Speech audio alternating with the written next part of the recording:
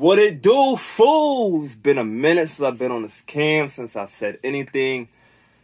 It's a lot going on. It's a lot going on. You know, I'm trying to figure things out, you know what I mean? But we are here now. UM5, True Foe, but Sheed happens. What happened? I'm going to tell you what happened. This was a good battle. And Sheed Happens won. That's what happened. Sheed Happens won from all four of the judges, including the fan vote. Pretty clear uh, first round, True Foe starts. He had a fire, power, Tommy, Chicago, force, bar, and then he stumbles, a pretty good stumble. And um, he had more material after that. That was pretty fire. He was able to get it out. But when Sheed Happens, go, and he was fire, and he kept going and going and going and going. And you don't stumble. So you got somebody who's clean and with, with, with material. You got someone who has material, but stumbling you're always going to go with that clean person. That was Sheed Happens in the first round. Second round, True Foe chokes. He wasn't as good as his first round as far as the material goes. Sheed Happens goes. His second round might have been better than his first round. His first round was crazy. So there's 2-0 Sheed Happens already. Third round was really close. Um,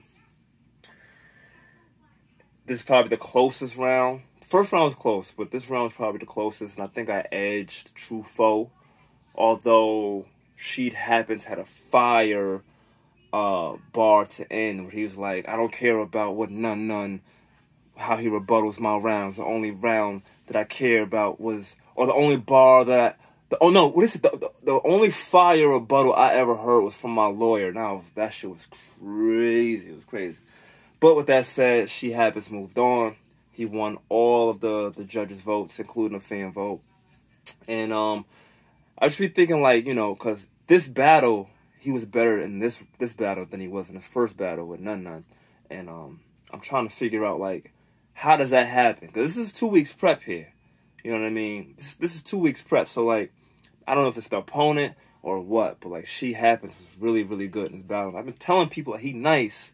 You know, he had a little bit of a decline, but he's nice and he's different. And um, it's good to see him do well. So he's moving on. Um, True Foe he still has that Midnight Madness belt. I don't know what's going on over there. They don't really do much like I thought they would. I don't know. Nonetheless, though, he's going to have plates on your belt for sure. And I'm looking forward to seeing what he does. But that is it. I'm about to get back to this computer, figure out who's going next. I'm going to talk to y'all in a minute. Be easy.